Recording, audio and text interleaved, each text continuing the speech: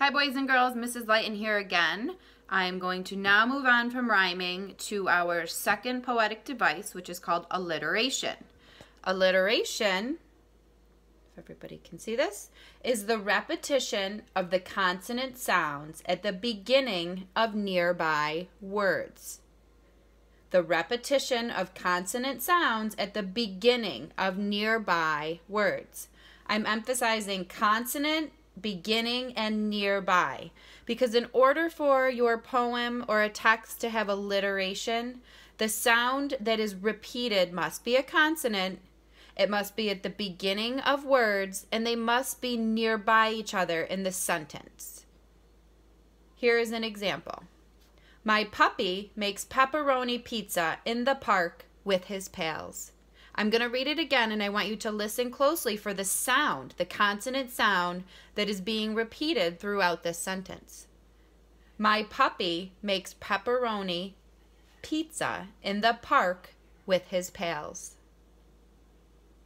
If you said that you heard the p or the p sound being repeated, you are correct. The alliteration here is the p sound, the sound that p makes. P. My puppy makes pepperoni pizza in the park with his pals. Alliteration is a device used by authors just to make the reader have a little bit more fun and to emphasize certain words. I'm going to go ahead now and read you a little poem that I found on the internet. It did not have a title, but I'm going to share it anyways because I think that it gives does a great job really emphasizing alliteration. Everybody can see that.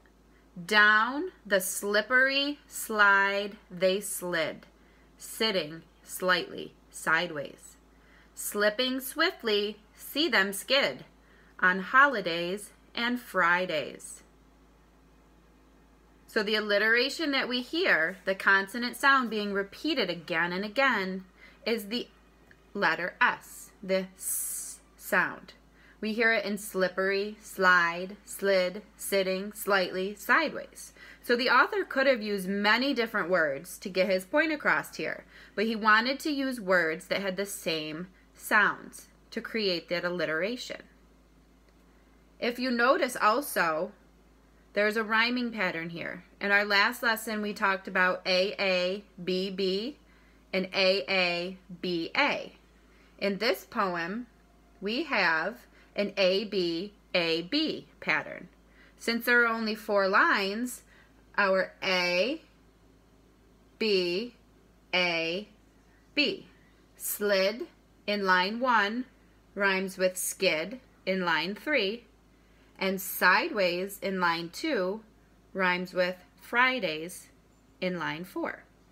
So the author of this poem incorporated a rhyming pattern as well as alliteration. I am going to now read one of my favorite stories to you guys. I read it to my daughter almost every night. It definitely contains rhyming and it definitely contains alliteration. I'm going to point out a few of those things on a couple pages and then I'm going to keep reading. And just so while you guys are following along, you can pause and point out where the rhyming is and you can pause and point out where the alliteration is because it's all over this book. I'm just going to point them out in the first couple pages and then let you guys have fun with it. So it's called the Pout Pout Fish. And right in the title, we have alliteration. Pout Pout. They're using that letter P, the P sound, to create alliteration.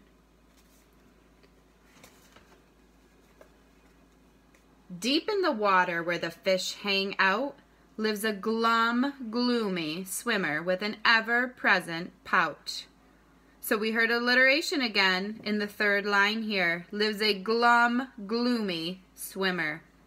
Glum and gloomy would be an example of alliteration.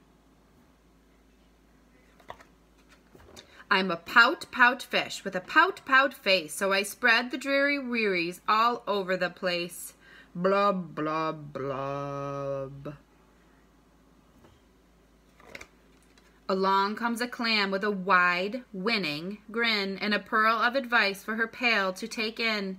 Hey, Mr. Fish, with your crosstown frown, Don't you think it's time to turn it upside down?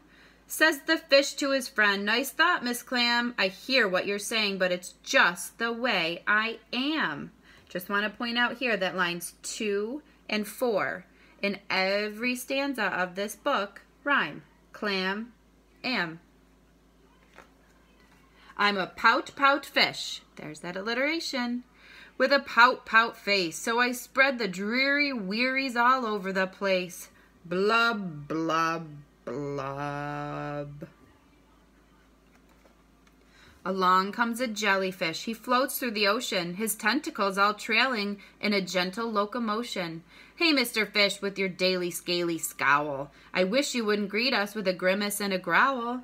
Says the fish to his friend, Mr. Jelly, I agree, I'd like to be more friendly, but it isn't up to me. I'm a pout pout fish with a pout pout face, so I spread the dreary wearies all over the place. Blub, blub, blub.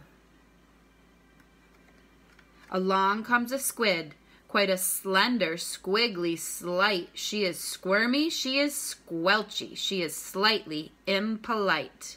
I'm going to pause here because that was a great example of alliteration again. Along comes a squid, quite a slender, squiggly sight. She is squirmy, she is squelchy, she is slightly impolite. Hey, Mr. Fish, you kaleidoscope of mope, how about a smile, a little joy, a little hope? Says the fish to his friend, Mrs. Squid, I would try, but I haven't any choice. Take a look and you'll see why. I'm a pout pout fish with a pout pout face, so I spread the dreary wearies all over the place. Blub, blub, blub. Along comes an octopus with eight great arms, covered on the underside with tiny sucker charms.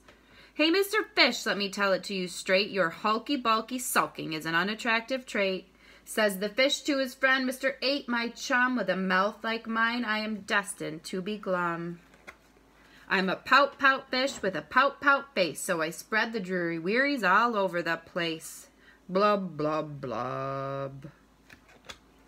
Now along comes a fish in a silent silver shimmer. The gang has never seen before this bright and brilliant swimmer. She approaches Mr. Fish, but instead of saying, hey, she plants a kiss upon his pout, and then she swims away.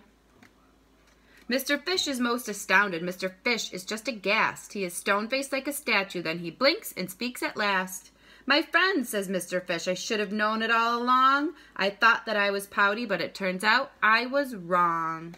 I'm a kiss-kiss fish with a kiss-kiss face for spreading cheery cheeries all over the place. So I'll smooch, smooch, smooch, smooch, smooch.